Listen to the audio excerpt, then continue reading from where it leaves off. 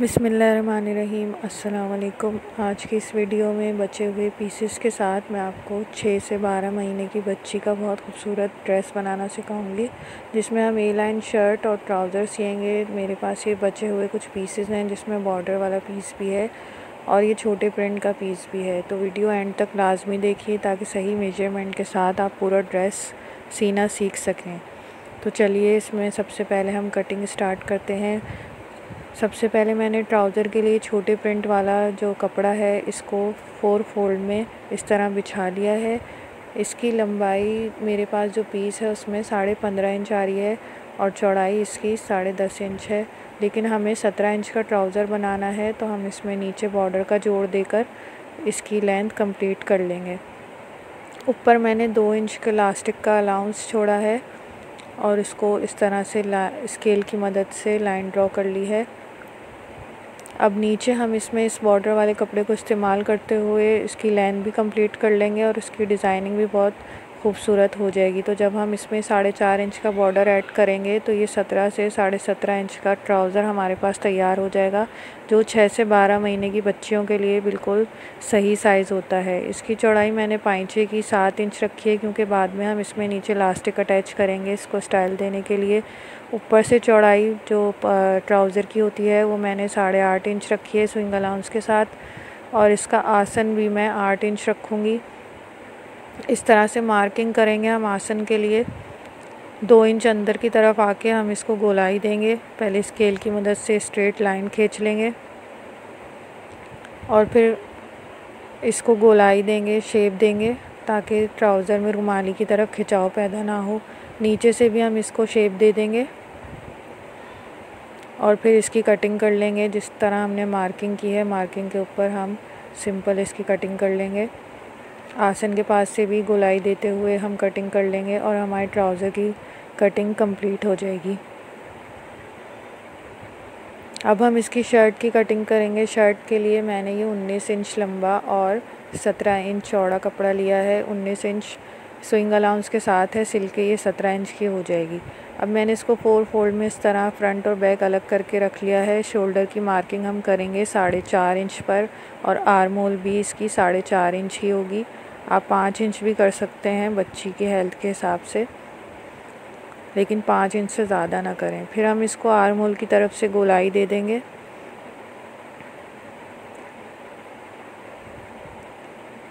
अब हम इसमें चेस्ट की मार्किंग करेंगे। चेस्ट टोटल मुझे चौदह इंच चाहिए तो मैं उसका हाफ़ सात इंच पे मार्क करूँगी।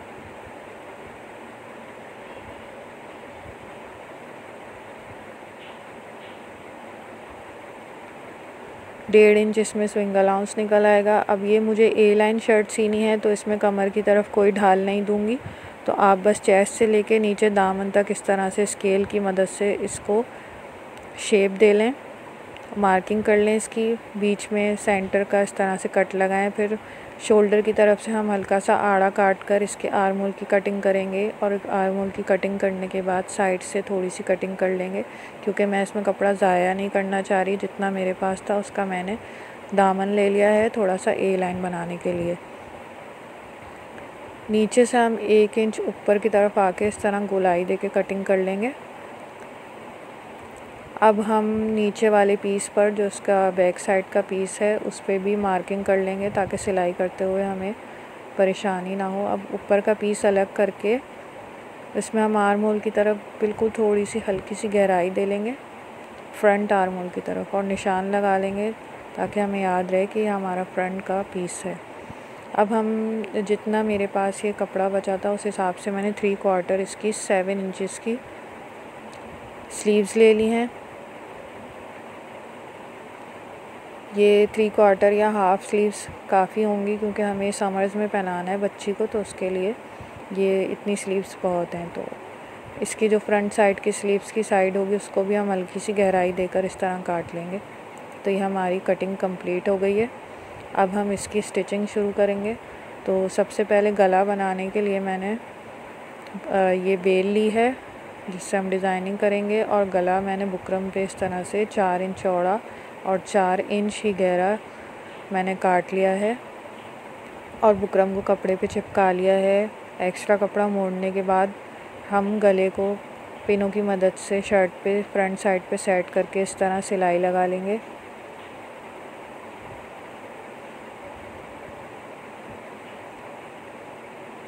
सिलाई लगाने के बाद हम छोटे छोटे नॉचेस लगाकर इसे बैक साइड पे पलट लेंगे।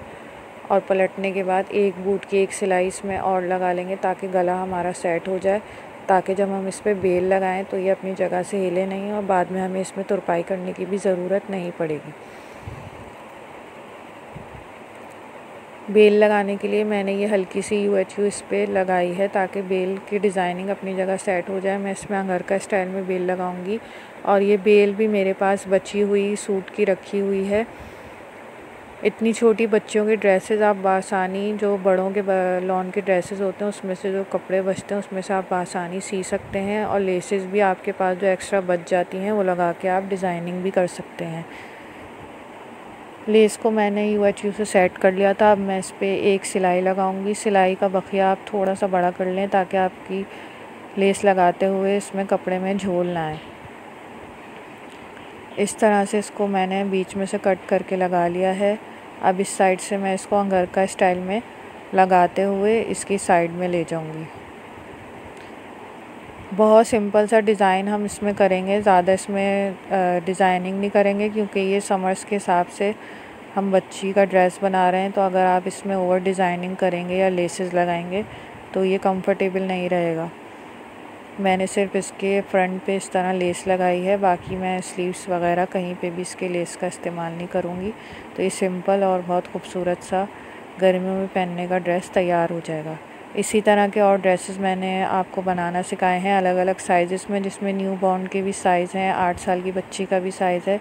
तो आप मेरे चैनल पर विज़िट करके अलग अलग स्टाइल के कपड़े बनाना सीख सकते हैं, जो मैंने कट पीसेस से बनाना सिखाए हैं। ये बेल देखें, इस तरह से अटैच हो चुकी है और फ्रंट की डिज़ाइनिंग हमारी कंप्लीट हो गई है। अब हम बैक साइड का गला बनाने के लिए बैक साइड वाला पीस इस तरह लेकर इसमें शोल्डर से शोल्डर मिलाएँगे। दोनों शोल्डर इस तरह मिला के रखेंगे।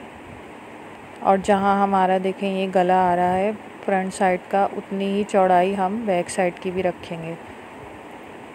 सिंपल बस हम इसको मार्क कर लेंगे। अब गोलाई देकर इसकी कटिंग कर लेंगे। अच्छा बैक साइड के गले की गहराई मैं, मैंने दो से ढाई इंच रखी है। तीन इंच भी आप रख सकते हैं, क्योंकि बैक साइड पे हम प्लेकेट देंगे तो पहले हम इसको गोलाई में काट लेंगे, फिर हम इसमें प्लेकेट बनाएँगे।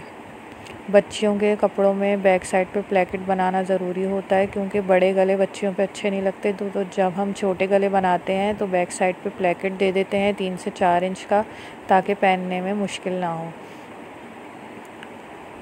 प्लेकेट बनाने के लिए मैंने तीन इंच चौड़ी और पाँच इंच लंबी ये पट्टी ली है। इस पट्टी को हम इस तरह से इसका पहले हम सेंटर बना लेंगे। आप चाहें तो आयरन की मदद से बना लें।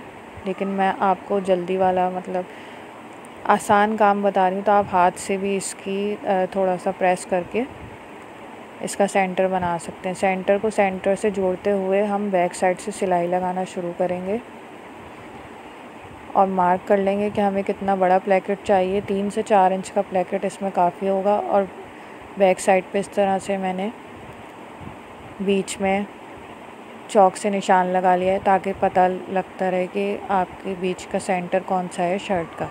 तो शर्ट के सेंटर से हम एक बूट की सिलाई का मार्जिन छोड़ के इस तरह से लंबाई में सिलाई लगाएँगे और फिर नीचे से नोक बनाकर इसको ऊपर की तरफ़ पलट के ले आएँगे। और बीच में हम आधे से भी आधे इंच का मार्जिन छोड़ेंगे। फिर हम ये छोटी सी डोरी का लूप बनाकर उसे उसकी जो लूप की बंद साइड है, वो बाहर की तरफ़ रख कर उसे इस तरह अटैच कर लेंगे डबल सिलाई के साथ। बाद में फिर हम इसमें बटन लगाएँगे तो ये हमारे बैक साइड का प्लेकेट कंप्लीट हो जाएगा। अब बीच में से हम इसको कट कर लेंगे। छोटे छोटे नॉचेस लगा लेंगे ताकि हम इसको पलट के इस तरफ़ लेकर आएँ कपड़े को तो उसमें झोल ना आए। एक्स्ट्रा कपड़ा मैं इसमें से काट दूँगी। अब हम इसको इस तरफ़ पलट लेंगे, चाहे तो आप इस पर आयरन कर लें, नहीं तो इसे अपने हाथ की मदद से ही सेट करके इसको बैक साइड पे पलट कर किनारे की सिलाई लगा लें।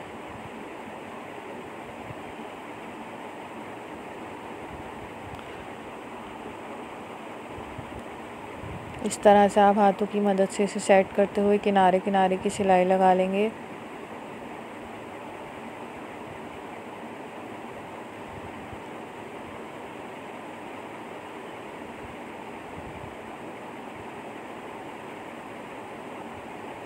अगर आपको मेरी वीडियो पसंद आती है तो आप इसको लाइक कीजिए शेयर कीजिए। और अगर मेरे चैनल पे नए हैं तो मेरे चैनल को सब्सक्राइब कीजिए। किनारे की सिलाई लगाने के बाद अब हम इसका जो एक्स्ट्रा कपड़ा है, उसको अंदर की तरफ़ मोड़कर बाहर की तरफ़ भी सिलाई लगा लेंगे। तो यह हमारा प्लेकेट बैक साइड का बिल्कुल बन के तैयार हो जाएगा। बच्चों के कपड़ों में आप बैक साइड पे इसी मेथड के साथ प्लेकेट बना सकते हैं। बस ये है आप साइज़ का ध्यान रखें कि अगर आप थोड़ी बड़ी बच्ची का साइज़ बना रहे हैं तो प्लेकेट का साइज़ भी थोड़ा सा बढ़ा लें। और अगर छोटी बच्ची के लिए बना रहे हैं तो ये तीन से चार इंच का प्लेकेट बहुत होता है।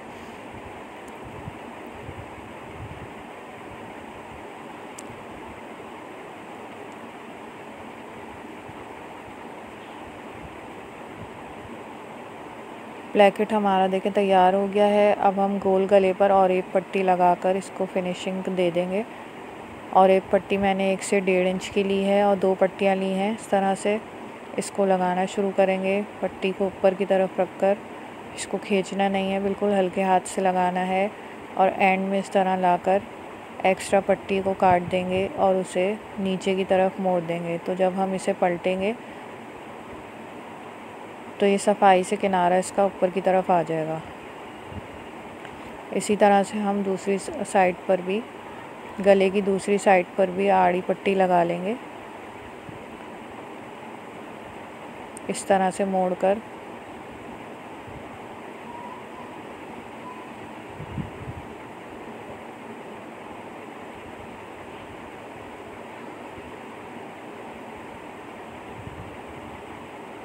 ये और एक पट्टी अटैच हो चुकी है दोनों तरफ़। अब इसमें छोटे छोटे नॉचेस लगाकर इस पट्टी को हम बैक साइड की तरफ़ पलट के इस पर सिलाई लगा लेंगे। एक्स्ट्रा पट्टी जो है उसको हम काट लेंगे। ये देखें इस तरह से पलट के, मुड़ के बैक साइड की तरफ़ चली जाएगी। अब इसकी सिलाई का मार्जिन हम बाहर की तरफ़ रखते हुए इस पे किनारे किनारे की सिलाई लगा लेंगे।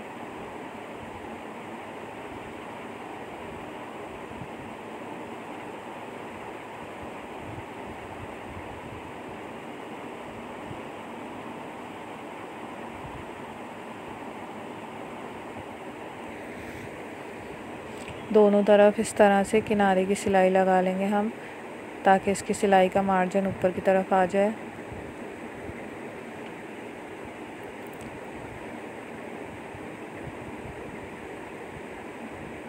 ये इस तरह से पलट के अंदर की तरफ़ चली जाएगी। अब हम शोल्डर्स को ज्वाइन करते हुए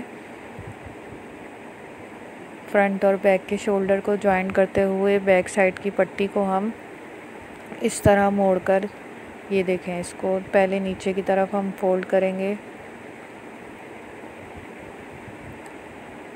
जो हमने और ये पट्टी लगाई थी, उसको पहले नीचे की तरफ़ फोल्ड करेंगे, फिर इसे फ्रंट साइड के गले की तरफ़, ऊपर की तरफ़ लाकर इस पर सिलाई लगा लेंगे। तो हमारे शोल्डर की जो सिलाई है, वो इसमें गुम हो जाएगी। बैक साइड का गला बनाने की बहुत डिटेल वीडियो मेरे चैनल पर मौजूद है, आप उस पर विज़िट करके देख सकते हैं, जिसमें मैंने शर्ट की बैक साइड का गला बनाना सिखाया है बहुत डिटेल के साथ और बहुत सफ़ाई के साथ, बहुत इजी मेथड के साथ, जिसमें आप शोल्डर की सिलाई बहुत सफ़ाई के साथ उसमें गुम कर सकते हैं। अब हम इसको पलट कर पट्टी को इस पर इस तरह से अंदर की तरफ़ सिलाई लगा लेंगे तो यह हमारी बैक साइड का गला भी तैयार हो जाएगा।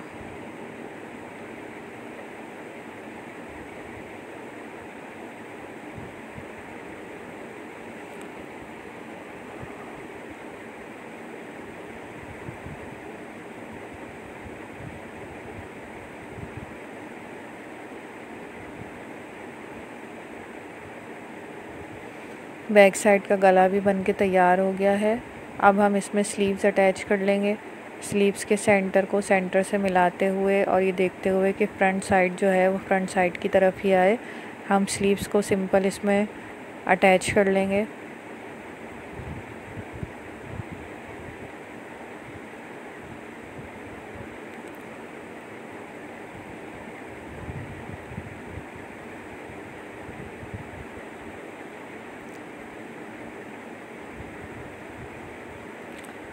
स्लीव्स अटैच करने के बाद इसे आगे से हम बारीक इस तरह से मोड़ लेंगे। इसमें कोई बेल वगैरह नहीं लगाएँगे। मोड़ने के बाद फिर हम इसका दामन भी इस तरह से आधे से पौने इंच के करीब सिंपल फ्रंट और बैक का दामन मोड़ लेंगे। साइड से हमने इसको थोड़ा सा आड़ा काटा था तो उस हिसाब से हम इसको ढाल देते हुए इस तरह से मोड़ेंगे। दामन पे भी मैंने कोई लेस अटैच नहीं की है, ताकि ये कंफर्टेबल भी रहे और गर्मियों में, बच्चियों को उसमें पहन कर गर्मी ना लगे, क्योंकि ज़्यादा लेसेस हम लगाएँगे तो उससे बच्चे उलझते हैं। इस तरह से मैंने दामन भी मोड़ लिया है। दामन मोड़ने के बाद हम इसको साइडों से बंद कर लेंगे।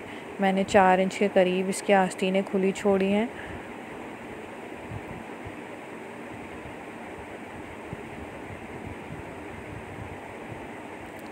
सिंपल हम इसको साइडों से बंद कर लेंगे।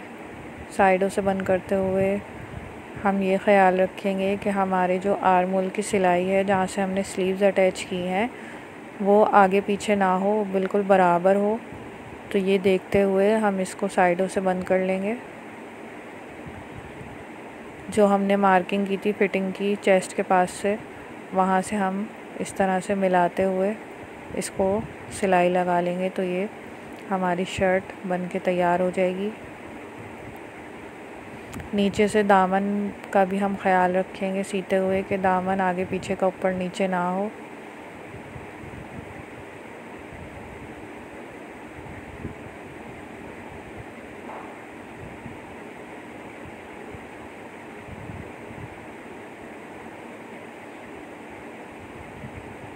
शर्ट हमारी तैयार हो चुकी है, जो आपके सामने है। अब हम इसके ट्राउज़र की सिलाई करेंगे। ट्राउज़र में सबसे पहले जो हमने ये नीचे बॉर्डर का जोड़ काटा था, इसको हम इसमें अटैच कर लेंगे। जोड़ अटैच कर लिया है, उसके बाद हम इसके आसन की सिलाई लगाएँगे और आसन की सिलाई लगाते हुए हम इसे डबल कर लेंगे। अगर आपकी मशीन में ओवरलॉक का ऑप्शन है तो आप इसमें ओवरलॉक कर लें ताकि पहनने के बाद फटे नहीं। नहीं तो आप इसमें डबल सिलाई ज़रूर करें ताकि ये ट्राउज़र आप पायदार रहे और जल्दी फटे नहीं। अब लास्टिक मैंने इसमें आठ इंच का लिया है, इसको डबल करेंगे तो ये सोलह इंच का हो जाएगा। लास्टिक अटैच करने की वीडियो भी मेरे चैनल पे मौजूद है, आप देख सकते हैं। अब मैं इसके पाइचों में ये आठ इंच की छोटी वाली लास्टिक अटैच करूँगी डिज़ाइनिंग के लिए। तो सबसे पहले हम ये जो पाइचे हैं, इसको इस तरह नेफे की तरह मोड़ लेंगे। जितनी हमारी लास्टिक है, उससे थोड़ा सा ढीला करते हुए इसको हम नेफे की तरह पाइचे को नीचे से मोड़ लेंगे। लास्टिक मैंने इसमें पतली वाली ली है पाइचों में लगाने के लिए। बच्चियों पे इस तरह के डिज़ाइन बहुत खूबसूरत रखते हैं और कंफर्टेबल भी रहते हैं। तो ये जो मैंने लास्टिक ली थी सात से आठ इंच की, इसको इस तरह से पिन की मदद से मैं इसमें इंसर्ट कर लूँगी।